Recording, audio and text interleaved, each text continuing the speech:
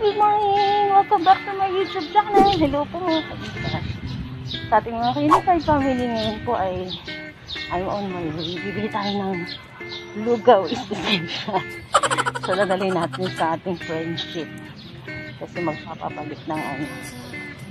May papalitan doon sa BGC. So, ako lang pwedeng lumabas. Ah, time check, mag alas dos na. So, kailangan natin biligsan. Kasi hanggang 6 o'clock. Tatawid muna tayo. So, dito tayo sa kabayan. Ito sa ulit natin lugawan. So, ito yung tambayan namin before nag-pandemic. Uh, every time ano kami sa office namin sa Unified, tambay kami yung kabayan hanggang umaga. Yung sa may Quezon at branch. Ngayon po ay nasa Kamuning branch po tayo.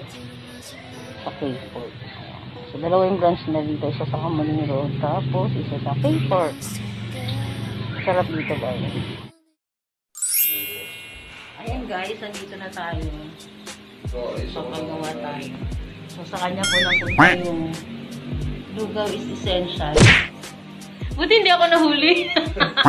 Di kayo naroon, no? Naglakad pa naman ako, di ba? So, yan lang. Late na sa balita. Hindi kasi ako nanonood ng news, guys. Kaya, late ako sa mga latest news na mga ganyang kakaiba.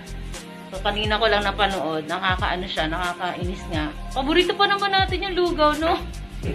Nakikisaw-saw din ako. hindi ako, hindi pa ako nakarecover sa change oil, eh. Ngayon, lugaw na may bago na ulit. Yung lugaw, ano, yung, yung pagkain ng essential tao, hindi. Ibig sabihin, hindi tayo essential. So, ano lang, ganun na ganun na lang yung buhay ng tao, wala lang. So, yun yung latest, diba? So, ano, di natin sila masisi sa dami na nang iniisip nila, daming pinoproblema. Siyempre, sila yung first frontliners, kumbaga, ah, sila yung humaharap sa tao. So, kung tayong nasa bahay, stress tayo sa mga napapanood natin, kaya hindi ako nanonood ng news.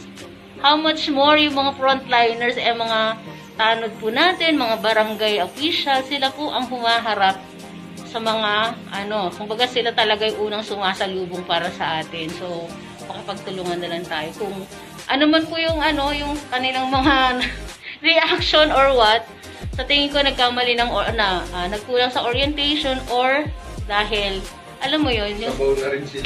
sabaw, sabaw na- yung state of mind na nila kumbaga, 'di ba?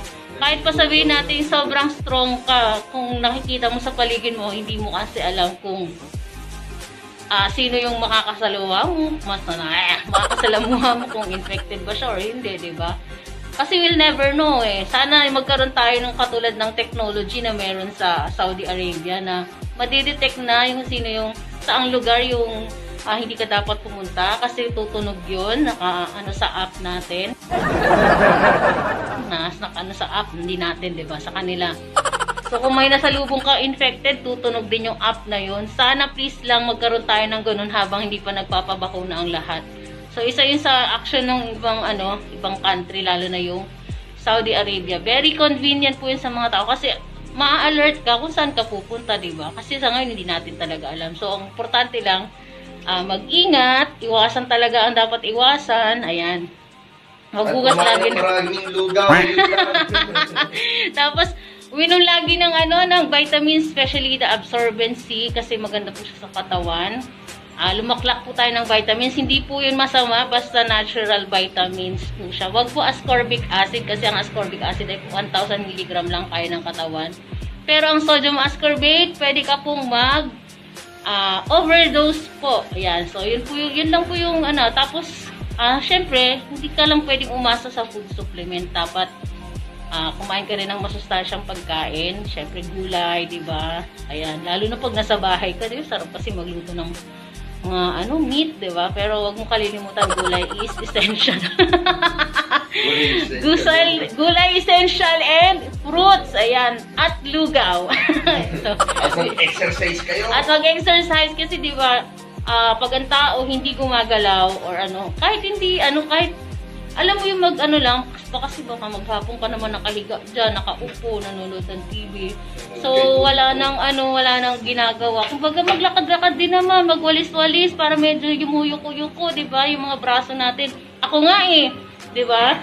Ah, marami na akong ginagawa sa bahay, kilos-kilos na ako, ako taga talaga tagalabas. Pero may nakakaramdam pa rin kasi iba pa rin yung extreme workout kasi sanay po akong tumatakbo every morning, ayan, ng one hour dati sa circle. Ngayon, hindi pwede, di ba? Alam ko naman, tumakbo ka nakamas, di ba? So, sa bahay, kulang pa rin yung ginagawa ko kahit ah, paguda na yung katawan, di ba? Tapos, ano, nagti-tiktok na rin ako, pinromote, no? Kasi 'di ba, pag nag-practice ka ng sayaw doon, talagang pagpapawisan ka, hindi po ano, hindi po madaling mag-TikTok. Kaya sinasabi nila yung TikTok ay ah, ano daw, walang kwenta. Pero may naitutulong po, yun, especially sa akin, kasi pag sumayaw ako, gusto kong i-video yung sarili kong sayaw. Ah, mga 10 times or to 15 times ko pong pinapractice yun kasi hindi naman po ako dancer, di ba? Tsaka matitigas na yung katawan natin. Kaya ang gagaling talaga ng mga sumasayaw. So, isa yun sa ano, sa mga pwede mo gawin. Or, mag-download ka ng, ano ba yun? Yung sa YouTube, pwede ka makapanood. Mag, magsumba ka sa bahay, bahala ka sa buhay mo. So, with that, thank you. Don't forget to subscribe and click the notification bell para po ah, ikaw po yung unang makareceive na every time mag-upload ako ng ganito. Bye-bye!